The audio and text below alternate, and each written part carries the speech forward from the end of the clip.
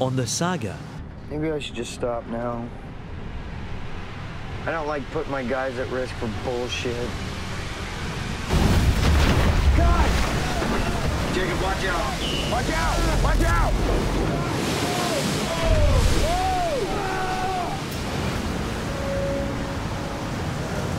Out of nowhere, a 30 foot rogue wave smashes into the boat. Everybody okay out there?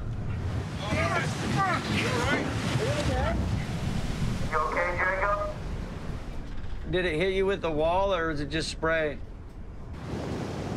Actually, I think the coiler saved the impact of the wave. I'm good, Jake.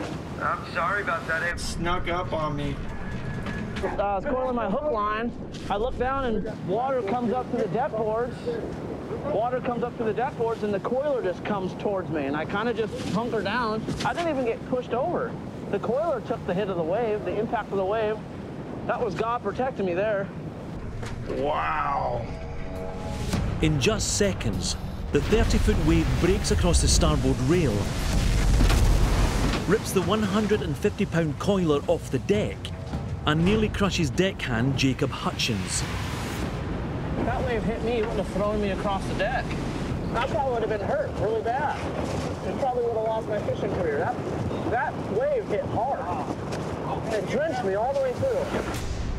I mean, I didn't even see it. You got rock. You got to rock it up this way. Okay.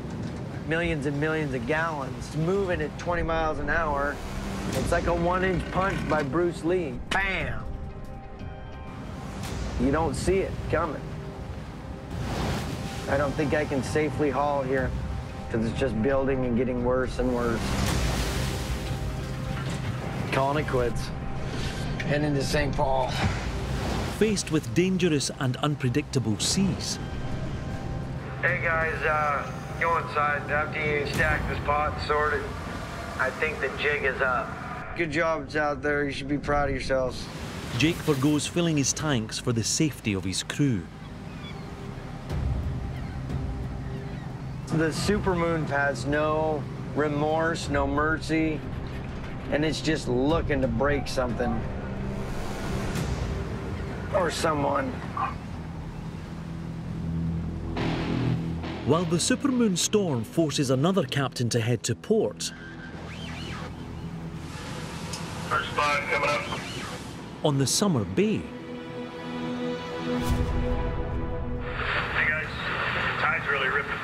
Hang in there. Let's do it. We're fishing 67 fathoms here. We're gonna. We gotta go three more fathoms deeper. Captain Wild Bill Wichrowski is not cowed by the mayhem around him. I know that the weather's come up considerably in the last 45 minutes, but can't wish crap into the pots. The only way you get them there is by going after them.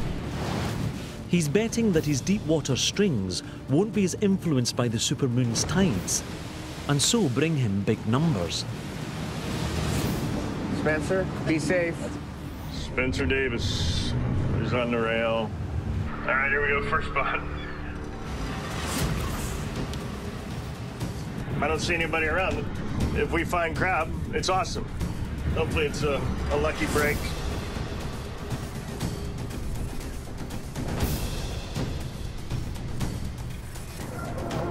Tide's turning or what here? Hard to get the buoys to the block. Tide's ripping like this.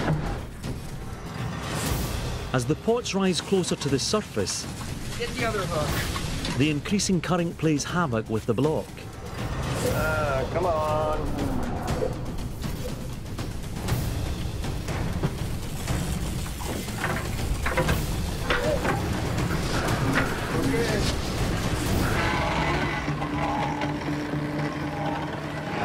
So we're gonna pick these up, bring in some crab.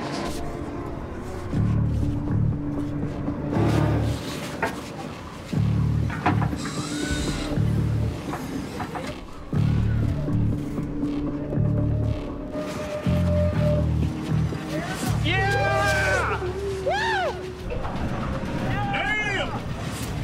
I knew today was going to be a good day. Yeah, baby. What we want right here. 223 to 2.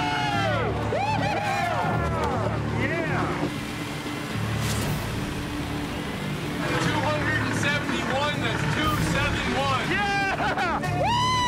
This is exactly the direction we need to go. Wild Bill's deepwater plan has found the Bering Sea bounty. There is method to my madness. Ah, ah, ah, ah, ah. But as the Summer Bay stuffs its tanks, We're probably on the best fishing in the fleet right now. the supermoon rises to the heights of its power.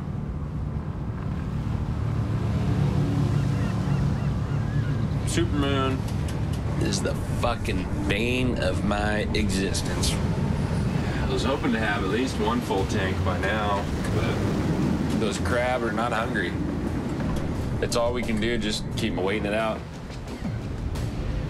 That seems to be the way it is out there for the whole fleet. It's not going to be a fun trip in. must be crabfish in the Bering Sea. She never lets you leave easy.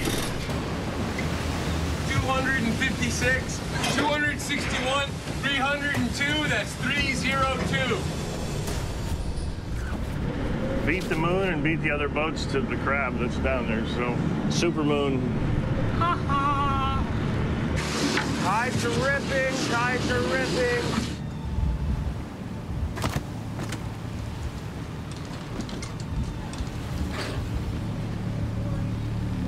Fucking fighting this current. I can't even get the goddamn thing to turn.